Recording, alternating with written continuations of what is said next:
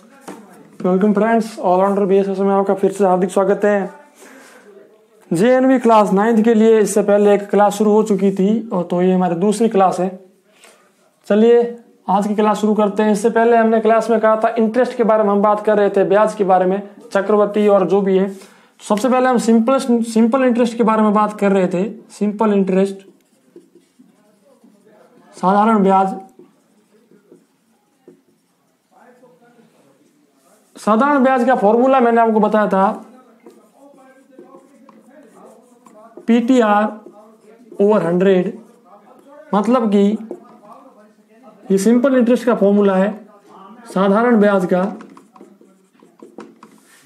P माने मूलधन, यानी इसको हम कहते हैं प्रिंसिपल यानी जो राशि हमने उनको दी थी, वो मूलधन इंटू टी माने टाइम यानी कि समय। इंटू रेट रेट माने क्या दर थी उनकी? तो वो रेट यहाँ पर होगी दर। बट्टा सौ तो सौ लिखना ही हमें। अब क्या करना है इसमें?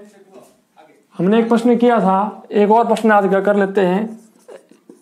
एग्ज़ाम्पल नंबर दो ले लेते हैं। सपोज़ कि किसी ने, किसी का मूलधन है पच्चीस सौ रुपये और उसने पाँच परसेंट की ब्याज से पाँच परसेंट ये मासिक है, हर महीने पाँच परसेंट का ब्याज होगा।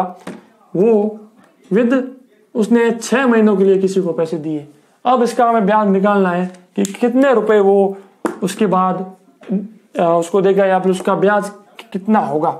तो देखिए दोस्तों, पीटीआर 2500 सौ इंटू क्या रेट थी उसकी? क्या वक्त था? तो छह महीने इंटू पाँच परसेंट की ब्याज से दिया है और सौ। ज़ीरो से दो ज़ीरो कट गए, पच्चीस पंजे एक सौ पच्चीस इंटू छ छह पंजे तीस, छह दूनी बारह और तीन पंद्रह, छह कम छह रिक्स सात। सात सौ पचास रुपये उसका ब्याज बन जाएगा, विद दो सौ पचास रुपये उसको दिए थे। यानी कि जब वो छह महीने होंगे, तब वो उसको बत्तीस सौ पचास रुपये सुपुर्द करेगा, वापस देगा। इसमें भी अगर हम बात करें तो कई प्रकार कई कई प्रकार की ऐसी कंडीशन आती है। मैंने आपको कहा था कि जब हम बात करते हैं रेट की मैन इंपोर्टेंट है रेट एंड मैन इंपोर्टेंट है टाइम यानी क्या समय।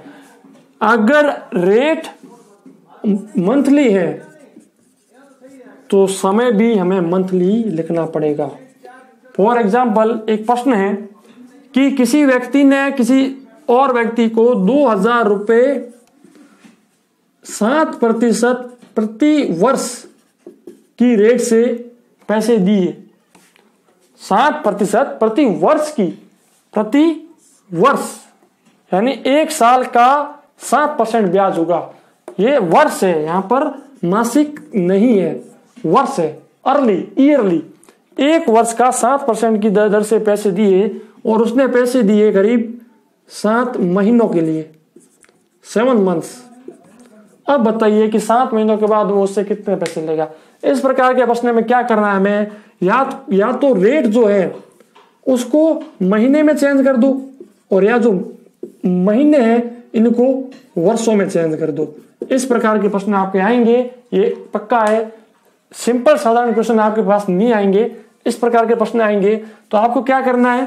सपोज़ सबसे पहले हम रेट को ही ये जो रेट है, इसको हम मंथ में चेंज कर लेते हैं, महीनों में चेंज कर लेते हैं।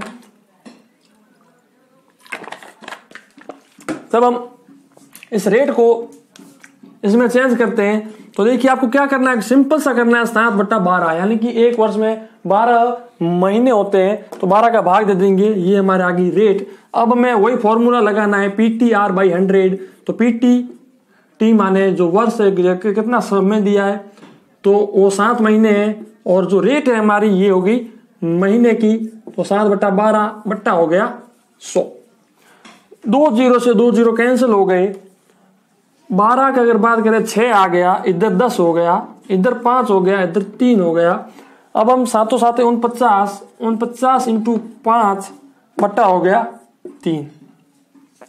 अगर हम बात करें इसको सोल्व करने की, नौ पंजे पैंतालीस पैंतालीस का पाँच, ऊपर लगे चार, पाँचों बीस और चार, चौबीस बट्टा तीन। अब अगर इसको आगे सोल्व करना चाहो तो आप कर सकते हो, आठ तीय चौबीस और तीन एकम तीन पॉइंट दो छ इक्यासी पॉइंट छह रुपए उसका ब्याज होगा। कितने महीनों का? सात महीनों का।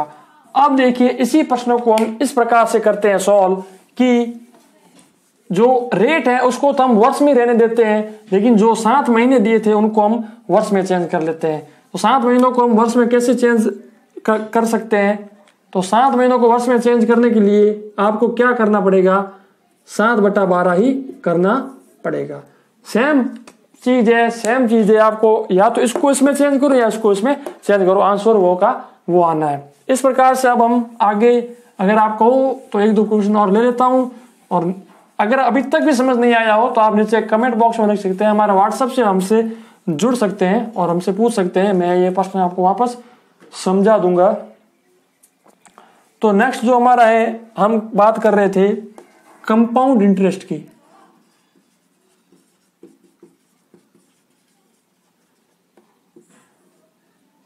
चक्रवर्ती ब्याज। चक्रवर्ती ब्याज क्या है? चक्रवर्ती ब्याज होता है, ब्याज का भी ब्याज। इंटरेस्ट ऑफ़ इंटरेस्ट यानी कि जब मैंने किसी को पैसे दिए छह महीने के लिए तो मैं उसको कह दूँगा कि तेरा हर महीने जितना ब्याज हुआ, यानी कि छह, जैसे मैंने उसको आज पैसे दिए, एक महीना होते ही मैंने उसको कहा कि एक महीने के तेरा इतना रुपया हो गया ब्याज, ये ब्याज तू मेरे को दे दे। अगर वो ब्याज हमें ना दे तो जितने पैसे हमने दिए थे प्लस उसका जितना ब्याज हुआ, उसके नेक्स्ट मंथ में उसका भी होगा ब्याज। उसके बाद उसका भी ब्याज, उसका भी ब्याज, ऐसे ऐसे ब्याज ब्याज का भी ब्याज लगता जाएगा। अब क्या होगा सपोज़ मैं आपको समझाता हूँ, ये चक्रवर्ती ब्याज कितने प्रकार से लगाया जाता है? ये चक्रवर्ती ब्याज होता है ईयरली यानी वार्षिक तो तौर पर भी ये मतलब चक्रवर्ती ब्याज होता है हाफ़ अर्ली यानी कि अर्ध वार्षिक के तौर पर भी लिया जाता है। वार्षिक यानी कि पूरा एक साल और हाफ़ अर्ली मतलब छह जो सिक्स मंथ्स होते हैं उनका एक होता है क्वार्टर अर्ली क्वार्टर अर्ली जो होता है, वो होता है चौथाई भाग। चौथाई भाग होता है जो एक वर्ष का चौथाई भाग, यानी कि एक बटा चार भाग जो होता है, वो उसके हिसाब से पैसे लिए जाते हैं। और एक होता है मंथली यानी कि हर महीने जितना ब्याज बना, उसका ब्याज लिया जाएगा। अब मैं आपको समझाता हूँ ये किस प्रकार से काम करते इसके रूल, इसके फॉर्मूले? सबसे पहले अगर मैं बात करूँ सपोज़ मैंने किसी आदमी को दो हज़ार रुपए दिए। रेट मैंने उसको कह दी,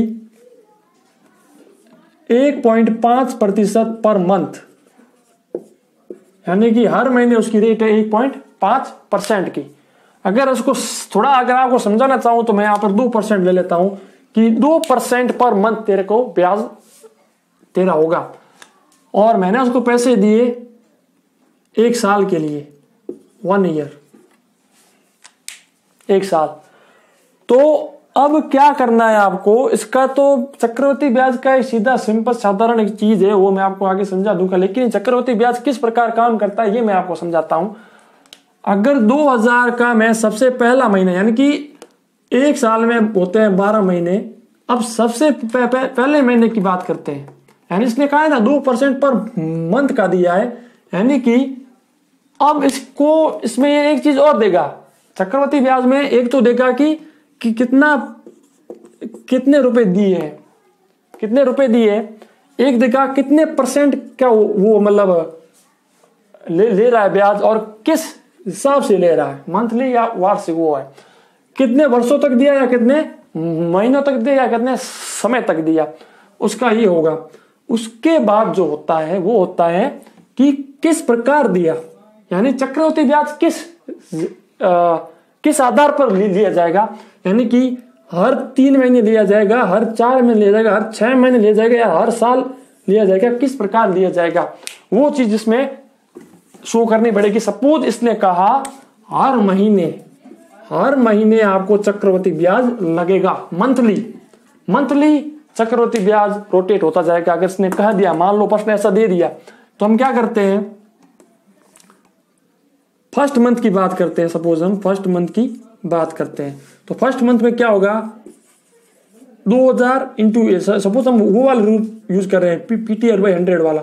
तो पी टी यानी कि पी क्या है हमारे पास? 2000 हज़ार। टी हमारे पास क्या है? एक महीना। यानी हम सबसे पहले महीने का कितना अमाउंट होगा वो क्या कर रहे हैं याद एक एक महीना इंटू रेट जो हमारे पास है दो परसेंट की, बट्टा हम करेंगे सौ। ज़ीरो से ज़ीरो कैंसिल हो गया और ये हो गए चालीस रुपए। चालीस रुपए प्लस दो हज़ार चालीस। अब हम सेकेंड मंथ की बात करते हैं तो सेकेंड मंथ में क्या होगा? दो हज़ार चालीस इंटू एक महीना, यानी कि अब हम इसके जो जो नेक्स्ट मंथ है, उसकी बात कर रहे हैं। इंटू दो बट्टा सौ। अब एक ज़ीरो से एक ज़ीरो कैंसिल हो गया ये इधर एक आ गया? इधर पाँच आ गया। अब हमारे पास जो अमाउंट आ गया, वो दो सौ चार बट्टा पाँच आ गया। सौ करते हैं, पाँच चौक बीस। नहीं जाता है तो चालीस पॉइंट, अब जो है इसके अंदर जाएगा आठ। चालीस पॉइंट आठ हो गया। अब जो तीसरा महीना होगा, उसमें क्या होगा कि दो हज़ार चालीस प्लस ये हो गया। तो अस्सी पॉइंट आठ इंटू एक इंटू दो बट्टा सौ। अब ऐसे सॉल्व करते जाएँगे और जो ब्याज आएगा, उस ब्याज को जोड़ते जाएँगे और लास्ट जो बारहवा महीना होगा, उसका जो ब्याज होगा, उसको सब जोड़कर रुपए से आ जाएँगे। अब क्या होता है दोस्तों? इसका रूल क्या है? इसका फॉर्मूला क्या है कि हम शॉर्टकट में इसको ज्ञात कर सके? शॉर्टकट फॉर्मूला यही है कंपाउंड इंटरेस्ट का फॉर्मूला यही है कि जो आपका प्रिंसिपल है, यानी कि जो मूलधन है, उसको बाहर रखिए। अंदर वन प्लस जो उसकी रेट है, उस रेट में बट्टा कर दीजिए। सौ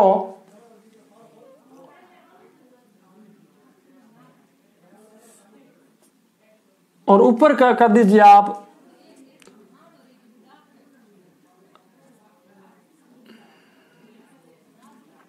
एन आर। यानी कि ये सौ नहीं, यहाँ पर नहीं आएगा।